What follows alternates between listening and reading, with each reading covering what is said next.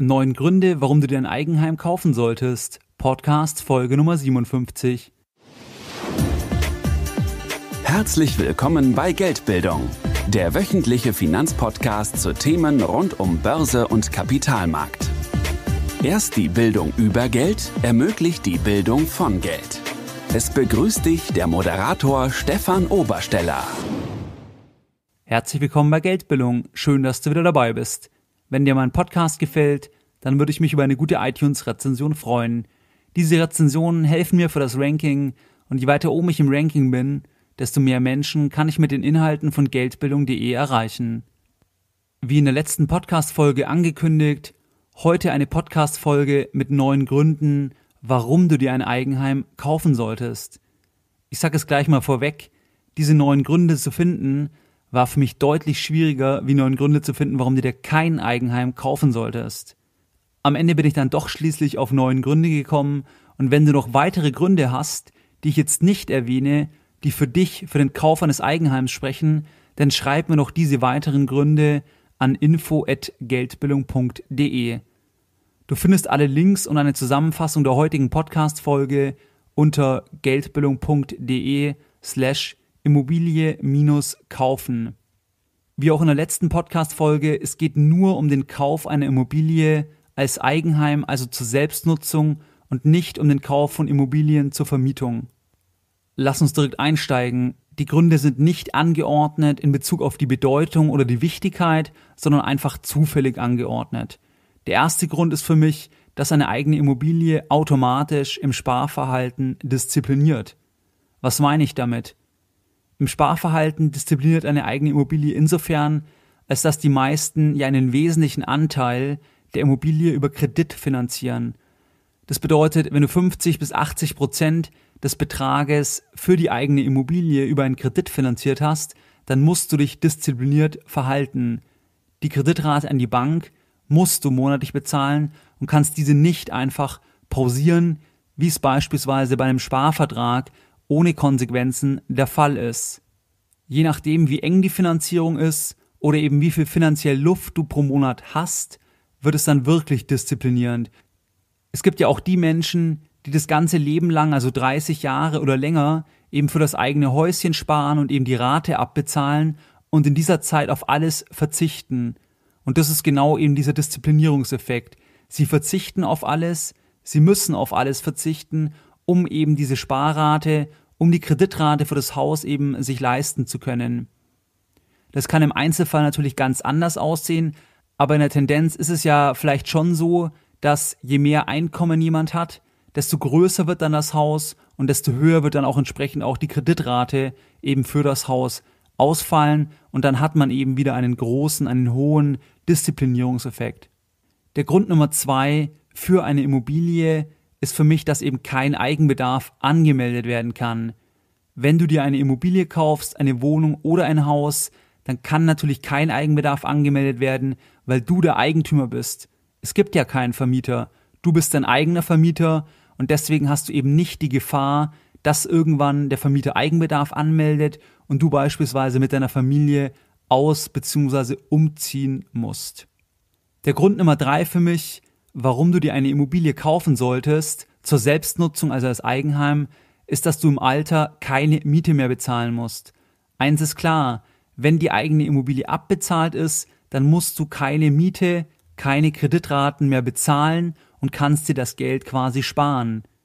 Wenn du hingegen immer zur Miete wohnst, dann hast du natürlich auch im Alter die Miete als Betrag weiterhin.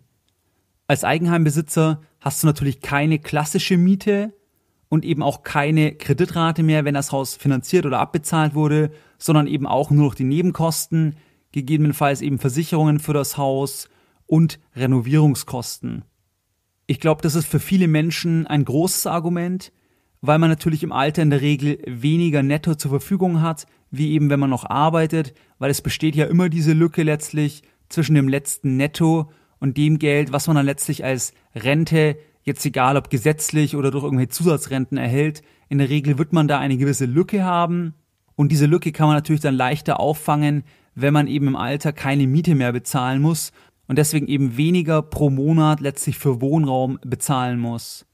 Der Grund Nummer vier für mich, warum man eine eigene Immobilie kaufen sollte, ist, dass man in die Immobilie guten Gewissens investieren kann und diese auch individualisieren kann.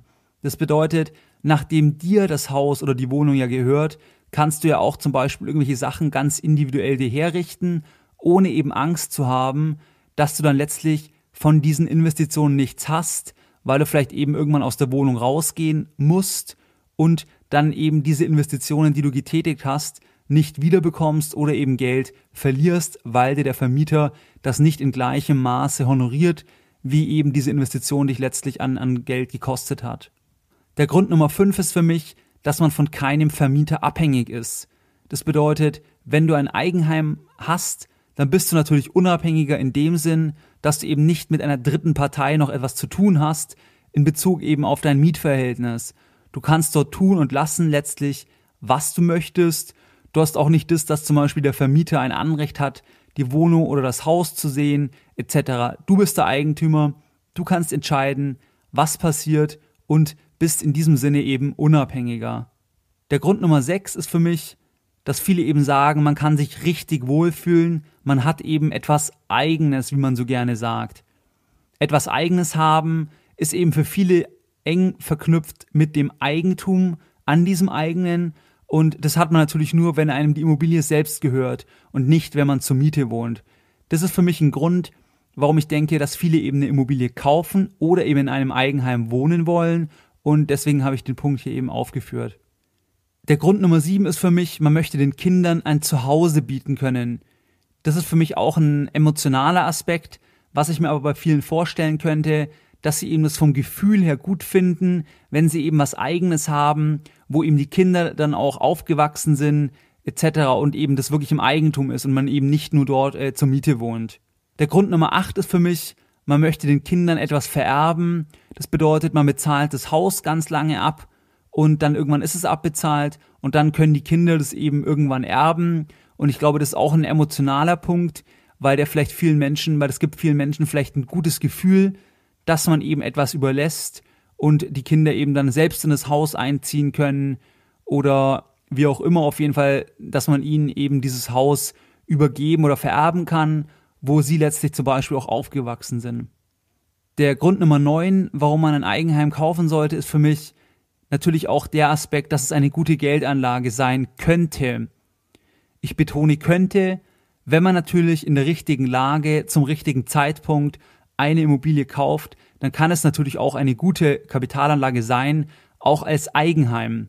Wie gesagt, dieser Punkt, dieser neunte Punkt ist eben mit Anführungszeichen zu sehen und der ist eben an ganz, ganz viele Punkte oder ganz, ganz viele Fragezeichen gekoppelt. Aber letztlich natürlich, es gibt auch Leute, wo das sehr, sehr gut funktioniert hat.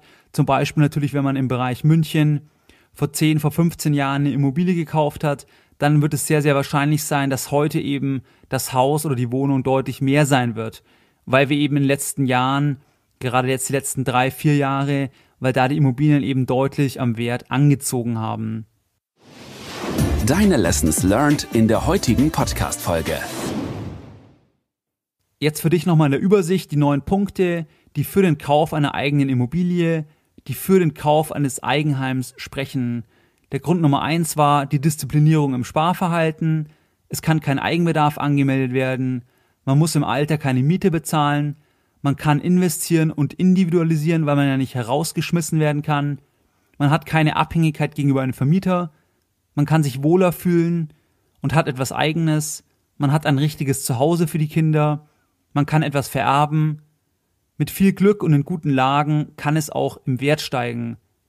Das waren jetzt diese neun Argumente, die für den Kauf eben einer Immobilie sprechen. Aus meiner Sicht, ich sehe ganz klar die neun Argumente, die gegen den Kauf eines Eigenheims sprechen, die sehe ich als deutlich stärker und für mich persönlich auch als, als deutlich realistischer einfach ein, weil ich glaube, dass diese neun Punkte zwar, die jetzt für den Kauf einer Immobilie sprechen, die sind zwar so plausibel und nachvollziehbar, aber es sind eben sehr, sehr viele weiche, sehr, sehr viele emotionale Gründe. Und ich glaube, dass es nicht rational ist, im Durchschnitt sich eben ein Eigenheim zu kaufen. Wie gesagt, im Durchschnitt und nur nicht rational und es nur in Bezug eben auf die finanzielle Situation. Ich möchte damit nicht sagen, dass man eben sich kein Eigenheim kaufen sollte. Man sollte eben nur wissen, dass es aus meiner Sicht eben mehr Argumente dagegen sprechen, aus rationaler Sicht, wie eben für den Kauf einer Immobilie. Es kommt dann einfach auf die Gewichtung drauf an, weil der finanzielle Aspekt ist natürlich nur ein Teilaspekt. Wenn einem beispielsweise die emotionalen Aspekte so viel wichtiger sind, also man diese quasi höher gewichtet, dann kann man ja trotzdem für sich zum Schluss kommen, dass man sich eben eine Immobilie kaufen will, weil eben diese neuen Punkte vielleicht, die wir heute besprochen haben, oder auch andere Punkte noch, weil die eben die entscheidenden Punkte sind. Man muss sich aber eben trotzdem die anderen Punkte anschauen und für mich ganz, ganz wichtig ist eben der Aspekt des Klumpenrisikos. Ein Eigenheim ist ein enormes Klumpenrisiko, weil es in der Regel eben einen Großteil des eigenen Vermögens ausmacht. Das muss man sich einfach bewusst sein und das bringt eben auch Risiken, auch wenn diese neuen Punkte vielleicht plausibel und nachvollziehbar sind und gerade auch der letzte Punkt, man kann Geld verdienen. Natürlich kann, kann eine Immobilie auch im Wert steigen, aber es ist halt ein enormes Klumpenrisiko, man hat keine Diversifikation und das muss man sich einfach alles vorher überlegen, das muss man sich eben vorher bewusst machen und dann entscheiden. Diese beiden Podcast-Folgen, also die Nummer 56 und die Nummer 57, da wollte ich dir jetzt einfach mit diesen 18 Gründen, eben die Hälfte dafür, die Hälfte dagegen, einfach vielleicht ein paar Gedankenanreize setzen, dass du eben mal drüber nachdenken kannst was sind denn Gründe, die du bisher vielleicht gedacht hast, was sind vielleicht für dich neue Gründe und dann vielleicht eine noch bewusstere, eine noch bessere Entscheidung treffen kannst. Und du kannst mir eben sehr gerne an info@geldbildung.de noch weitere Gründe schreiben, wenn du eben noch Gründe für den Kauf eines Eigenheims hast oder auch Gründe dagegen, dann schick mir doch eine E-Mail und dann können wir einfach darüber nochmal weiter diskutieren. Du findest eine Zusammenfassung der heutigen Folge, wie gesagt, unter geldbildung.de slash Immobilie minus kaufen. Wie du gewohnt bist, möchte ich auch heute die Podcast-Folge Nummer 57 wieder mit einem Zitat beenden und heute eines von Danny Kay. Geld alleine macht nicht glücklich. Es gehören auch noch Immobilien und Grundstücke dazu. Mehr Informationen zu Themen rund um Börse und Kapitalmarkt findest du unter www.geldbildung.de. Und immer daran denken, Bildung hat die beste Rendite.